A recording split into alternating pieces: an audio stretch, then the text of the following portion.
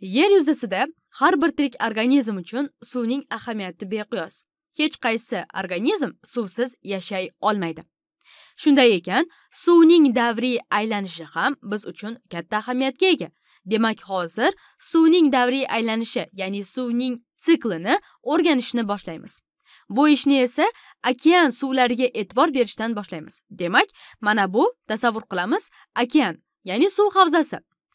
Okean yuzasiga alohida e'tibor beramiz. Ayni mana shu nuqtada chunki suv bug'lanishi amalga oshadi. Albatta bu joyda harorat past bo'lsa ham yuqori bo'lsa ham suv bug'lanishi amalga oshadi. Shunchaki harorat qanchalik issiq bo'lsa suvning bug'lanishi ham shunchalik kuchayadi. Suvning bug'lanishi o'zi nima? Suyuq holatdagi suv molekulalari gaz holatiga o'tib alohida bo'lib atmosferaga ajralib chiqib ketishi bu bug'lanish jarayoni. Gaz holatiga o'tgan suv molekulalari suv bug'lari deyiladi. Suv bug'i. Mana shunday atmosferaga ajralib chiqqan suv bug'lari qizigan havo bilan birgalikda ya'ni quyosh yerni isitishi natijasida havo isiydi. Mana shu havo qizishi natijasida suv bug'lari yuqoriga ko'tariladi. Yuqoriga ko'tarilgan sari bilamiz harorat pasayadi. Harorat pasaygan sari suv bug'lari sekin astalik bilan chang zarrachalari atroflarini egallab kondensatlanishni boshlaydi. Ya'ni yana suyuq holatga o'ta boshlaydi. Suyuq holatga o'tayotgan va chang zarralari bilan aralashgan suv bug'lari sekin astalik bilan bulutlarni hosil qila boshlaydi. Demak bulutlar aslida suv tomchilaridan iborat. Ya'ni kondensatlangan suv tomchilari. Bu holatidan yana qaytadan suyuq holatga o'tgan suv tomchilari chang zarrachalari bilan yig'ilib bulutlarni hosil qiladi. Bulutlar ma'lum bir haroratda yoki ma'lum bir sharoitda yana yog'ingarchilikni amalga oshirishi mumkin. Bu holatda agar harorat haddan tashqari past bo'ladigan bo'lsa bu joyda muz kristallari ham hosil bo'lishi mumkin. Demak yog'ingarchilik amalga oshadi.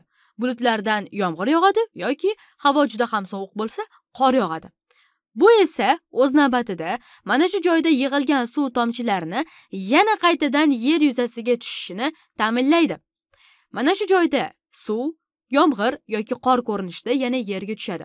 Bu joyda u to'g'ridan to'g'ri yana okeanga yoki suv havzasiga tushadi yoki quruqlikka ham tushishi mumkin. Masalan toqqa. Tog' ustida yog'ingarchilik sodir bo'lib bu joyda yomg'ir yoki qor yog'adi. Qor mana shu tog' cho'qqilarida qolishi mumkin. Ya'ni erimasdan xuddi shundayligicha qor mana shu joyda turishi mumkin. Lekin u ma'lum bir sharoitda eriydi ham. Agar qor erisa yoki shu joyda yomg'ir yog'sa ma'lum bir oqimlar yordamida suv sekin astalik bilan pastga tusha boshlaydi. Bu joyda u har xil daryolarni hosil qilishi ham mumkin. Ya'ni yog'ingarchilik ko'p bo'ladigan sharoitlarda yog'ingarchilik ko'p bo'ladigan yil fasllarida biz bilamiz daryolarning hajmi kengayadi. Bu esa o'z navbatida yog'ingarchilik miqdoriga to'g'ridan to'g'ri bog'liq. Yomg'ir qor mavsumi ko'p bo'ladigan paytlarda demak daryolarda suvning miqdori oshadi. Mana shu yog'gan yomg'ir va qorlar faqatgina daryolar hosil qilmasdan to'g'ridan to'g'ri yerga shimilishi ham mumkin. Ya'ni yer qatlamlari tuproq qatlamlari orasidan infiltratsiya jarayoni orqali suv yer osti qatlamlariga o'tishi mumkin va bu joyda ular yer osti suv oqimlarini hosil qiladi. Demak biz yer yuzasida suv ko'p deb o'ylashimiz mumkin. Masalan okean yoki ko'l bo'lishi mumkin va hokazo. Lekin aslida bu joydagi suvlardan ko'ra yer ostidagi suvning miqdori ancha ko'p. Masalan mana shu ko'llarning o'ziga ham e'tibor bersak aslida ular yog'ingarchilik natijasida to'planib qolgan suv. Bunday suv to'planishlariga ikki xil sabab bo'lishi mumkin. Birinchidan yer ostida suv miqdori ko'p bo'ladigan bo'lsa ular yerga shimilib ketmasdan yer ustida to'planib mana shunday ko'llarni hosil qilishi mumkin. Yoki mana shu joyda yer ustida har xil tosh qatlamlari bo'lsa ular suvning yer ostiga o'tishiga to'sqinlik qiladi va buning natijasida yer ustida har xil suv havzalari paydo bo'lib qoladi. Demak mana shunday qilib har xil suv havzalari hosil bo'ladi. Har xil ko'llar daryolar va hokazo. Xo'sh yer ustida quruqlikda o'sadigan o'simliklar qanday qilib suvni o'ziga oladi? O'simliklar o'z ildizi orqali yer ostidagi suv qatlamlaridan o'ziga kerak bo'lgan suvni shimib oladi. Ular mana shunday qilib o'ziga kerak bo'lgan suvni qabul qiladi va o'z navbatida ular suvni yana atmosferaga qaytarib beradi. Qanday qilib? O'simliklar har xil jarayonlarni amalga oshiradi. Masalan fotosintez. Fotosintezdan tashqari ular transpiratsiyani ham amalga oshiradi. Transpiratsiya bu suvning bug'lanishi. Demak o'simliklar o'zidagi suvni bug'latish orqali atmosferaga chiqarib beradi va yana bug'langan suvlar tepaga ko'tarilib bulutlarni hosil qilishi mumkin. Yoki mana bu joyda sublimatsiya jarayoniga e'tibor bering. Sublimatsiya jarayoni bu juda ham sovuq va quruq sharoitda muz holatidagi suvning to'g'ridan to'g'ri bug' holatiga o'tishi. Bu joyda u suyuq holatga o'tmaydi. Qattiq holatdan to'g'ridan to'g'ri gaz holatiga o'tadi. Bu holat ko'pincha tog' cho'qqilarida ya'ni juda ham sovuq sharoitlarda va albatta quruq sharoitlarda amalga oshishi mumkin. Bizchi biz qanday qilib suv siklida ishtirok etishimiz mumkin? Insonlar va hayvonlar suvni to'g'ridan to'g'ri iste'mol qilishi mumkin. Mana shu iste'mol qilingan suv ma'lum vaqtdan keyin yana qaytib tashqariga chiqib ketadi va biz mana shunday yo'l bilan suvning davriy aylanishida ishtirok etishimiz mumkin. Shu joyda chuchuk suv atamasiga e'tibor bering. Insonlar hayvonlar va o'simliklar odatda chuchuk suvni iste'mol qiladi chuchuk suvni o'zlashtiradi. Chuchuk suv bu toza suv tarkibida tuz juda ham kam bo'lgan suv. Okean suvlari chuchuk suv emas ular sho'r suvlardan tashkil topgan. Sho'r suvlar tarkibida juda ham ko'p miqdorda tuz bo'lgan suvlardir. Xo'sh sho'r suv va chuchuk suv miqdori yer yuzida qanchani tashkil etadi? Buning uchun mana bu diagrammalarga e'tibor beramiz. Ayni mana bu tasvirda biz sho'r suv va chuchuk suvning ya'ni toza suvning nisbatini ko'rib turibmiz. Yer yuzidagi hamma suvni yuz foiz deb olsak shundan to'qson yetti butun besh foizi sho'r suvni tashkil etadi. Atigi ikki yarim foizi chuchuk suvga to'g'ri keladi.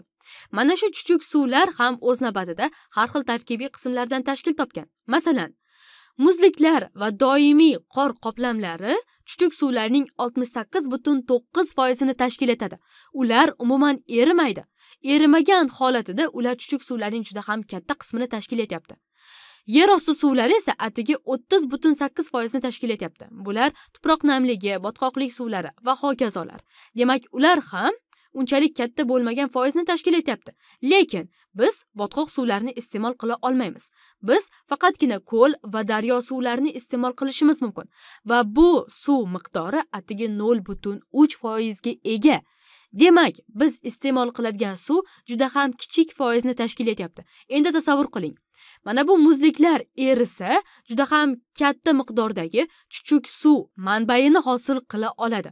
Demak chuchuk suvning juda ham katta qismi muzliklarda to'plangan. Undan nisbatan kamroq miqdori esa botqoqliklar va tuproq namliklariga to'g'ri keladi. Biz iste'mol qiladigan chuchuk suv miqdori ko'l va daryolarga to'g'ri keladi. Bular esa atigi nol butun uch foizni tashkil etadi xolos. Endi mana bu tasvirga e'tibor bering. Bu tasvirda esa biz suvning har xil tirik organizmlarda biosferaning har xil qismlarida taxminan qancha muddatda saqlanishini ko'rishimiz mumkin.